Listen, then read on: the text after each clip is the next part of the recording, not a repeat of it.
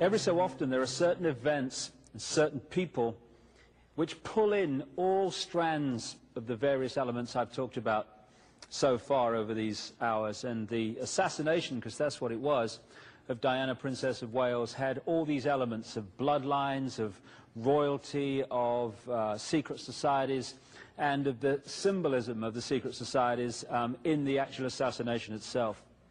In The Biggest Secret, I've gone into this in tremendous uh, detail in one chapter in particular, and uh, there is a, a, video documentary planned of this uh, Diana assassination and the background to it. Maybe it will even have been uh, uh, done and be available by the time you see this. So I'm not going to go into the Diana thing in great detail here because it's done elsewhere, but I just want to go through a few things.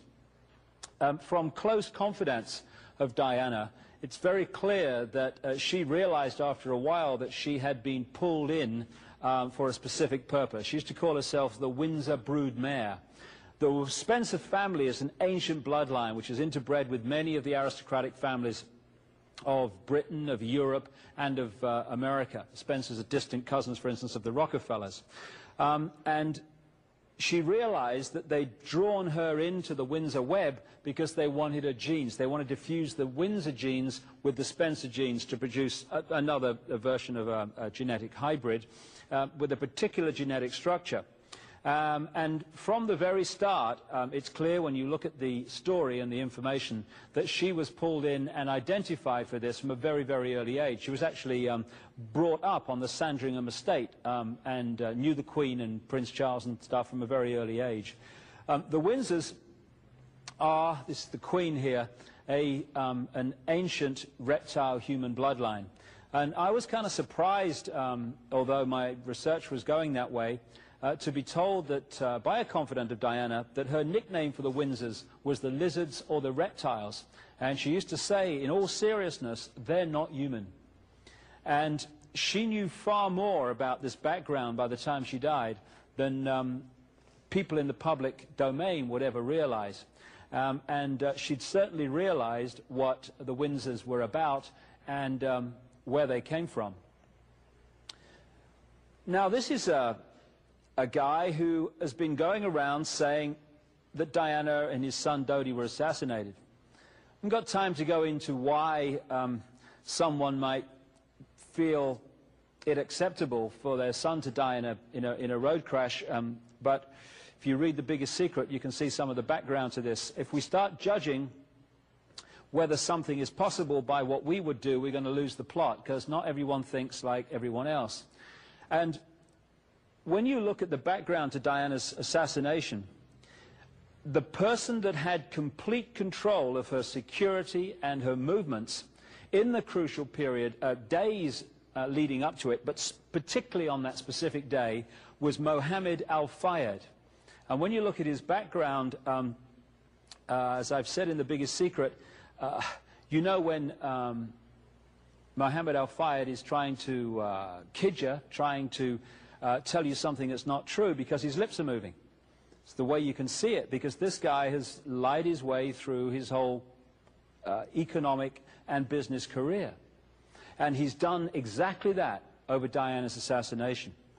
There was um, a guy um, uh, that I've mentioned a number of times in my books called Tony Blair. Tony Blair um, was brought through by this brotherhood to become Prime Minister of Britain. And I have um, a contact uh, who, uh, for a long time, performed satanic ceremonies in which ritual human sacrifice took place of children and of adults. And one of the key places, which I've talked about in my books, is a place known as the Castle of Darkness in Belgium. In the late 80s, she says that at a ritual sacrifice that she um, performed was the Queen of England, which she's done sacrifices for many times, um, the Queen Mother, Tony Blair, who was then just a lower-ranked politician, and Mohammed al-Fayed, father of Dodi. And yet in the public arena we get this uh, royal family on one side and Dodi Fayed's father, Mohammed al-Fayed, on the other, when in fact they lock into the same controlling force. And he had control of her uh, movements on the crucial day.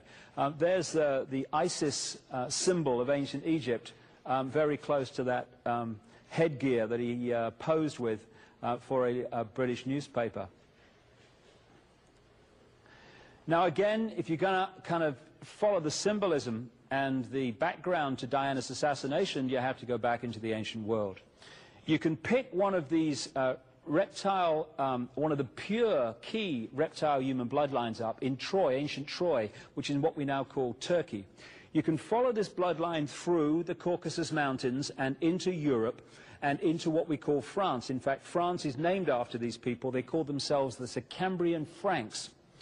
And they had a royal offshoot and eventually became known by this royal offshoot called the Merovingians.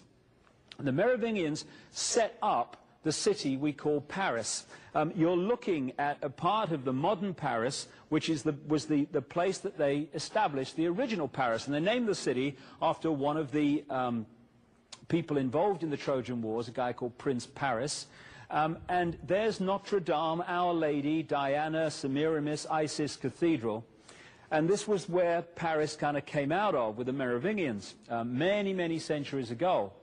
Now, these Merovingians, um, Franks, the Cambrian Franks, worshipped the goddess Diana, who was one of the great goddesses of the ancient world. And they built underground chambers um, just outside the original Paris to do their sacrifices and ceremonies to the goddess Diana. Of course, as Paris has got bigger and bigger, the area of that sacrifice area for the goddess Diana is now modern Paris. And it's still an underground chamber. That point is called the Pont d'Alma Tunnel, where Diana died um, in 1997. Um, and Diana is actually blood related to the Merovingian line. This is the Ritz Hotel, owned by Mohammed Al Fayed, and all around the square, it's called the Vendome, um, you see at first floor level um, depictions in gold of that symbol I talked about um, a long time ago, the circle, the cross, and the sun on the, the center. And it comes uh, from one of the French kings, one of the Louis, who was known as the Sun King, who built the Palace of Versailles. And in the back of the Palace of Versailles, in the grounds, is a depiction of the goddess Diana, which this aristocratic uh, bloodline network very much focus on as one of their deities. Someone said, this is the Kennedy assassination here, something very true. When you're trying to understand um, who was behind an assassination, look at who had the power to remove the security at the crucial time. Because he said um, assassinations don't just happen, they are allowed to happen. And when you look at the uh, footage taken on a camera, a video camera by a member of the public when Rabin the Israeli prime minister was um, assassinated. It's extraordinary. You have the line of soldiers um, lined up to protect Rabin as he came to his car, and in among them is the guy who killed him. As Rabin appears um, on this video, extraordinary sight, the soldiers just walk backwards, leaving the assassin on his own. Rabin walks past him, thank you very much, good night. And it's the same with the Kennedy assassination and so many others. Um, this is the point where Kennedy was hit. This is Kennedy's car at the front. There's nobody on it. Um, and yet you look at the car behind, uh, which doesn't carry the President of the United States, there's four security guards and two outriders. If they'd have been there, of course, Kennedy could not have been killed um, by a bullet from outside because he was so well protected. But the whole thing was removed, the security, to allow it to happen. And it was the same in Paris on that night. This is the back entrance to the Ritz Hotel where the car left because um, it was decided by Mohammed Al-Fayed on the phone to his son Dodi from England that although she'd had a certain level of security all day, a Mercedes and a, a, a backup car, a Range Rover, that was suddenly, at the crucial time, going to be removed, and another Mercedes was brought in with no backup car and no security um, apart from the uh, Trevor Rees-Jones, the bodyguard in the front seat. So suddenly, classic assassination, security is removed to allow it to happen. In the car uh, that was driven away was this guy, Henri Paul, who's been the fall guy uh, for it, or blamed on him. He is an asset, or was an asset, of British and French intelligence, had been for a long time. And he had uh, four bank accounts which uh, had considerable amounts of money paid in in the period leading up to that. Uh, not necessarily for what happened to Diana, but because he was an asset of British and French intelligence, which is the same organization. And to, to really um, appreciate how this could be done, you need to appreciate something called trauma-based mind control. During the last war in the concentration camps of Germany, in fact, way, way back this has been known about, but particularly during the last war, they started to perfect um, the manipulation of a natural mechanism in the mind that shuts out trauma. What they did um, was to understand that if you could systematically traumatize someone, their mind would shut out the memory of it and create an amnesic barrier which would be um, disconnected from the rest of the mind. This is what happens when people have a major road accident and they can't remember what happened. It's because the amnesic barrier has been created to shut out trauma so we don't keep reliving the horror. Good thing. But they realized that if you could do that systematically and start with children, particularly um, before the age of five and six, you could turn their minds into a honeycomb of self-contained compartments, none of which was aware of the other's existence. This guy was what they call a multiple, Henri Paul, uh, which uh, in their mind is broken up into different compartments, and so through trigger words and what have you, and trigger sentences, hypnotic keys, one amnesic barrier becomes the conscious level. That experiences something or is programmed to do something and then he's pushed back and another one's pulled forward. It's actually got to the point where, amazing as it may seem, you can be drunk in one compartment and completely sober in the other. Which is interesting in, in relation to what happened if you look at the story of Henri Paul. Once the programming is in there, and in the biggest secret, I, I, I incredible documentation and background um, to this and, and um, what, what happened and trauma-based mind control and how it creates assassins and people going crazy with guns to justify taking guns out of circulation, all this stuff. Um, when you um, look at the background, all that is necessary is to program the guy, push that programming back into the mind, and that will stay there at the subconscious level until some trigger comes in. When that trigger word or trigger action or whatever is said or done, that programming is activated. Um, so you can be in normal mode and be very normal and no problem and nothing, oh, I've never, never noticed anything different about old Henry that night. Trigger word, bang, programming, you're like a robot. And what gives away um, this is the fact that the car hit the 13th pillar. Um, if you read The Biggest Secret, you'll see the incredible obsession with symbolism that this brotherhood has. Um, and there, I've been to Paris, and in that tunnel, the Pont d'Alma tunnel, there's 30 odd of these pillars. It hit the 13th. The 13 is the number that reoccurs again and again and again and again, constantly over thousands and thousands of years in all these different brotherhood groups and all these different secret societies. And it relates in part to the 1 and 12, that symbol again of the sun and the, the 12 um, months, the 12 um, areas of the zodiac. So, all it would have needed, because the guy was missing for three hours that night, was the trigger word or the trigger to activate the programming. And Henri Paul suddenly goes into whatever he was programmed to do. Now, where they were going that night, and this is agreed by everyone, is from the Ritz Hotel, which is numbered one on this map, down to the Champs-Élysées and to almost the Arc de Triomphe, where Dodi Fayed had his flat. When they went earlier in the day, the car went down to the Place de la Concorde, went up the Champs-Élysées to his flat, which is right next to that circle you see there. This is the quickest way from the Ritz to the, to the apartment of Dodi Fayed. But not that occasion did he go that way. Henri Paul went around to the Place de la Concorde and suddenly, instead of going down the quickest way, went on to this uh, dual carriageway that goes alongside the River Seine. He went um, at an increasingly fast speed and then went down into the Pont d'Alma tunnel. Now, why would he go that way? Some people say, well, he was going round to miss the traffic or whatever. But the key thing is, by going the long way to the apartment, it took him through the Pont d'Alma tunnel. It took him through this ancient sacrificial site to the goddess Diana. And what does Pont d'Alma mean? Pont d'Alma means passage or bridge, bridge of the moon goddess. And Diana, in Brotherhood symbolism, is a symbol of the moon, a moon goddess.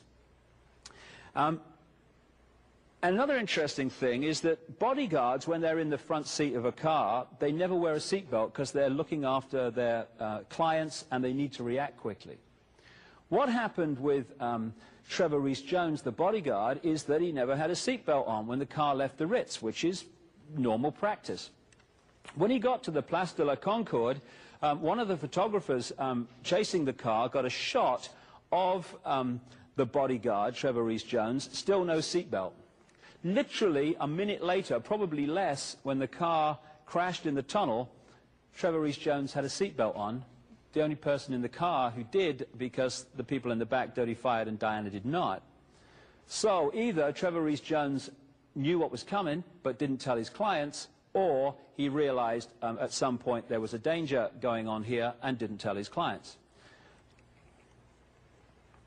This is the uh, Place de la Concorde, and there is the obelisk, the 3,200-year-old Luxor obelisk, um, which was um, uh, about a minute's drive that night from the crash, and Diana went round there on the way to the, uh, to the scene. This is Trevor Rees-Jones. Uh, when asked why he put his seatbelt on, he says he doesn't remember, um, and maybe we'll never know, but it's got to be one or the other. When the car came down to the tunnel um, here at the Pont d'Alma, it's a series of crossroads, um, and that's very, very significant because these deities are, are symbolic of the moon and various energies. They're broken up into different polarities. You've got Diana, which is the positive moon energy, and then you've got the negative force, uh, which is called Hecate, which is the goddess of the crossroads, and she's symbolized by crossroads and, and um, uh, all over the world. The Hecate satanic um, symbolism can be seen in the ceremonies and, and, and what have you. And so here we have a situation now where Diana, goddess of the moon, is taken into an ancient sacrificial site to the goddess Diana, dies in a tunnel, which is called Bridge or Passage of the Moon Goddess, and is also covered with crossroads to the goddess Hecate, which is the malevolent um, symbol of the moon energy. This is the Pont d'Alma tunnel. Um, it's very short, and I've been through it, and they keep telling me in the media it's very dangerous. I didn't really see that myself. And it's very close to the Arc de Triomphe, which is um, a, another um, obelisk symbol. This is the 13th pillar. And there's no way that car hit the 13th pillar given the obsession with symbolism of this brotherhood, unless it was meant to happen. Um, I've talked to people who um, are experts in this mind control, who work to deprogram people who have been mind controlled in this way. And I said to them, is it possible to mind control a driver on a subconscious level to go into that tunnel and just um, whack the 13th pillar? Because, of course, in the conscious level, you'd say, come on, it's not possible. And everyone has said, absolutely, for this reason. The conscious level has a certain feeling of time. So going into the tunnel at 60, 70, 80 miles an hour and then hitting the 13th pillar, you, you must be joking. But the subconscious level has a completely different um, perception of time. 60, 70 miles an hour to that is walking pace. Therefore, the programming goes in at the subconscious level, making that hit the 13th pillar at speed, piece of cake according to these experts I've spoken to. Um, Diana actually survived the crash, uh, all reports say that, um, but instead of being taken to hospital, where she could have got treatment that could have saved her life, she was held in that tunnel for a very, very long time. Medical experts outside of France have said it's ridiculous how long it, it took about 95 minutes from the crash to get her to hospital, by which time she was clinically dead. Um, between the Ritz and the tunnel are 17 of these things, traffic cameras, which are filming the road which the car passed down. Had they been on that night, we wouldn't be standing here saying, well, I wonder what happened. Could have been this, could have been that. We'd have seen it. All 17 were switched off in the period it took the car to get from the Ritz to the tunnel. Not only that, um, people who were um, tuning in that night in Paris to the police frequencies, as some people do, uh, have reported that the police frequencies um, in central Paris were also switched off in the period it took the car to get to the, the tunnel. Just a coincidence, nothing to worry about. This is the shot that that particular camera would have had. Uh, the Mercedes came in on this side of the road, and had that camera been on, everyone would have known by now what happened. They could have seen it. But it was switched off, or at least we're told it was. And so we have a situation in which um, Diana was held in that place for all that time, and she was clinically dead by the time she left it. And the question has been, even from people who have said, yes, it was an accident, why did they do that? Because, according to the strict and obsessional symbolic ritual of this brotherhood, she had to die in that underground chamber on the site of ancient Diana worship and sacrifice to Diana. There's no way she was going to be allowed to leave the tunnel until she was dead, and so they kept her there all that time when um, most doctors, um, as they, some have pointed out, would have had her a hospital as quick as possible and she'd still be alive today, almost certainly. So the, the Diana story is just full of endless symbolism, and I'm just skipping the surface here. The, the detail is absolutely mind-blowing. Um, this is the top of the Pont d'Alma tunnel. Um, and as, as, I mentioned earlier, there is the depiction of the flame held by the Statue of Liberties in Paris and in New York, standing on a black pentagram, the classic satanic symbol. And that is where they take the flowers and stuff uh, now. This area of Paris with the um, Eiffel Tower, uh, the River Seine, is an ancient, ancient um, sacred site to this brotherhood. And uh, it's absolutely no coincidence that this is where they brought Diana to die that night. Um, indeed, when you go through her life in general, you find that the symbolism of the goddess Diana comes up again and again. When she married Prince Charles, they married her in St. Paul's Cathedral. St. Paul's Cathedral is on an ancient site of goddess Diana worship. And when they brought her uh, coffin out of Paris, it wasn't with the Union Jack and the flag of the country, um, it was with the flag of the royal family, full of these old symbols of the sun going back to the ancient world. And um, as I've uh, pointed out many times, and with a lot of supporting evidence, the British royal family were definitely involved in her murder. Um, interestingly, when the crash happened, uh, this guy comes into focus. This is Diana's brother, Earl Spencer. And I, there's one or two questions I'd like to ask him, really, because um, the symbolism of the goddess Diana in the ancient world related again and again to the tree grove, which is the sacred place to the goddess Diana. That's where the, they, they, they used to worship her in the tree grove. Lakes and islands. Those three things keep reoccurring again and again and again in the stories of the goddess Diana. Um, this is where they put her grave on an island in the tree grove in the middle of a lake on the Althorp estate, the Spencer estate. And those decisions, at least on the surface, were made by Earl Spencer.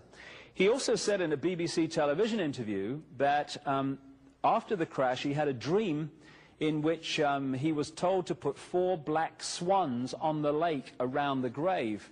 And the next day he said he called his um, estate manager and asked, um, where do I get four black swans? And his estate manager apparently replied, according to the official story, you've heard then. You've heard what? We've just been given four black swans. Okay, well, the pigs are filling the room again.